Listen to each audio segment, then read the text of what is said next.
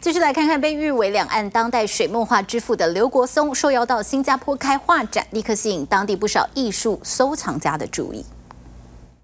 东方的水墨画却有西方印象派的大胆线条，被两岸誉为当代水墨画之父的台湾画家刘国松受邀到新加坡开画展，吸引大批艺术收藏家。呃，从概念上、观念上的这个转变的话，在刘老师是呃有一个很充分的一个体现，因为它本身是用这个水墨的形式，但它的那个呈现是一个抽象的一个一个一个画面。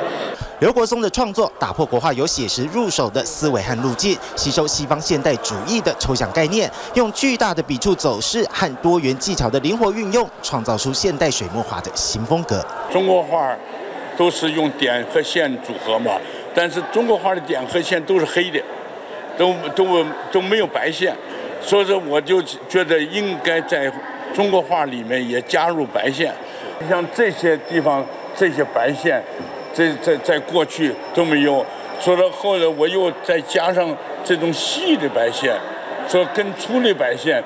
都把它中国画就把它拉入到现在来了。是刘国松把创新元素带进两岸画坛，掀起现代艺术运动，创造出独特的美学风格。也正因为如此，收藏家除了欣赏之外，刘国松的画在拍卖市场有相当高的行情。在拍卖市场上，他所创下的最高单价已经超过了一百万了。那最大的一件的作品，就是今年、去年秋天在香港佳士得所拍的那件，呃。长卷《湘江岁月》那件已经拍到了六千七百万台币。刘国松画作的价值在两岸当代水墨画中一直处于领先地位，收藏家认为未来将会持续升值，也意味着这位来自台湾的画家对两岸画坛的影响举足轻重。TVB 新闻综合报道。